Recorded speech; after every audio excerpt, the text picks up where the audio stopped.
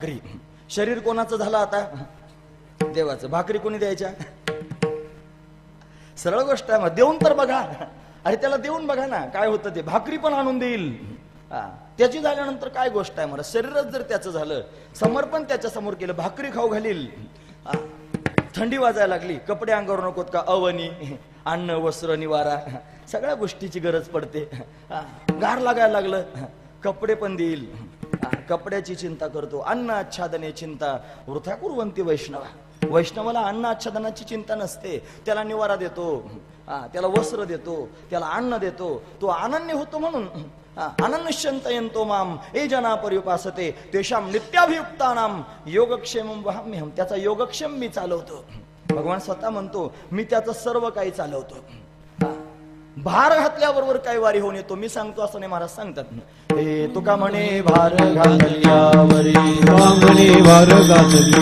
कामणे भार घातले आवरी भार घातले होईल कैवारी नारायण.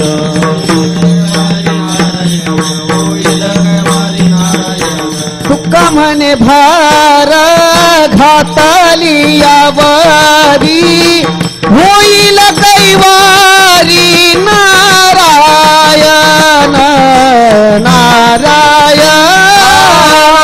कामणे भार आवरी. होईल कैवारी नारायण नारायण.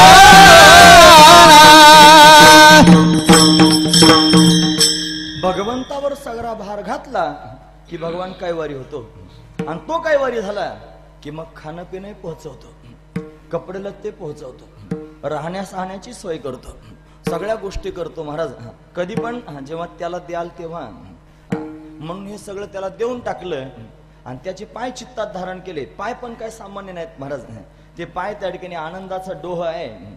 ते आनंदाचा सागर आहे. आनंदाचा समुद्र आहे. त्याचे चरण म्हणजे आनंदाचं घर आहे. जिथे आनंद राहतो त्याचं नाव आहे चरण.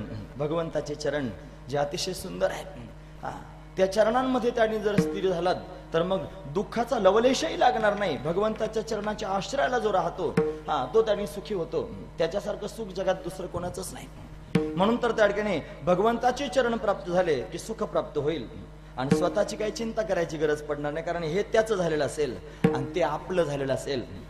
मग तुम्ही बघा माझे पाय तुझी डोई आयसे करेगा भाग दे. तू तुको आहे म्हणतात देवाच्या समोर असं देवा करून टाकतो आता. माझे पाय आणि तुझी डोई